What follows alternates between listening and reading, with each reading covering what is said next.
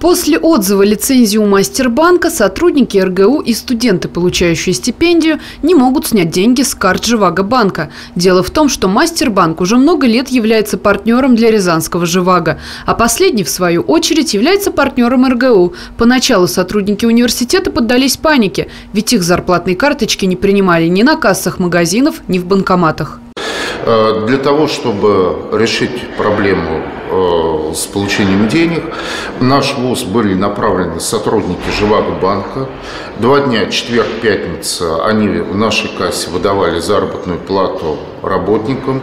Денежные средства можно получить не только здесь, в кассе, ожидая в очередь, но можно в любое удобное время в любом операционном отделении Живаго банка в нашем городе. Сейчас у нас подошло время э, стипендий для наших студентов. И э, сегодня утром по договоренности, опять-таки, с высшим э, руководством Живаго банка решено э, организовать также выдачу стипендии до конца этой недели в кассе нашего вуза. Ну и, естественно, все желающие могут в операционные часы получить в кассах Живаго банка.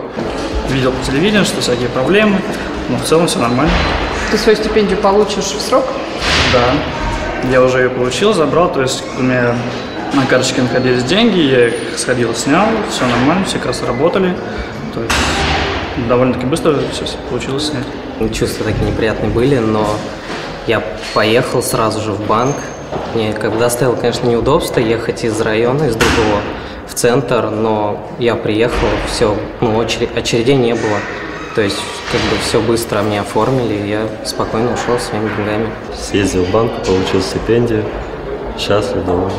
Сейчас же Вагабанк, как и другие, в экстренном порядке ищет нового партнера. Напомним, что Банк России отозвал лицензию у Мастербанка 20 ноября. В качестве причины отзыва называется недостаточность отчетных данных, низкое качество кредитов и утрата капитала.